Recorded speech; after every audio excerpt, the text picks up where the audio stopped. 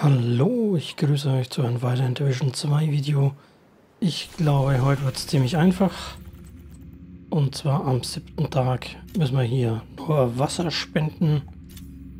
Nur 50 Liter. So, kein Thema. Haben wir auch abgeschlossen.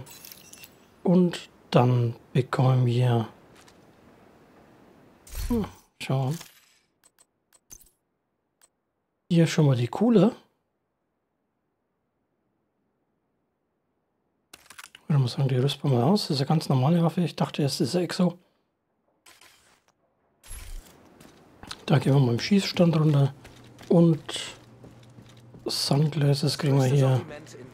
Und alles mögliche. Ich denke mal, dass dieser Fehler ist, weil eigentlich sollten wir das am 9. Tag kriegen.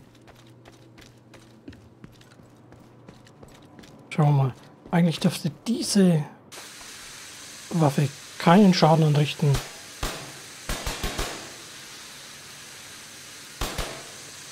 Ich spiele doch nicht allzu weit.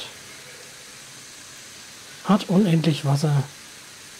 Baut halt äh, bei den Verbündeten ähm, Gefahrenschutz auf bis zu 50 Prozent und kann es decken natürlich fünfmal maximal. Vielleicht wird es auch noch irgendwann mal geändert, dass man es bis auf 10 decken kann. Das würde ich vernünftiger finden.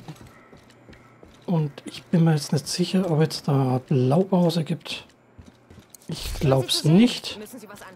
Was sich jetzt noch ändert, nachdem dass man die Waffe hat, bis zum... Naja, schön.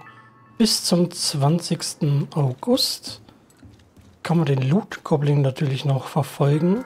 Und nachdem dass man die Waffe jetzt hier hat, kann die beim Loot-Goblin natürlich droppen. Da wünsche ich euch viel Glück dabei und Dankeschön fürs Zuschauen. Bis zur nächsten Folge. Ciao.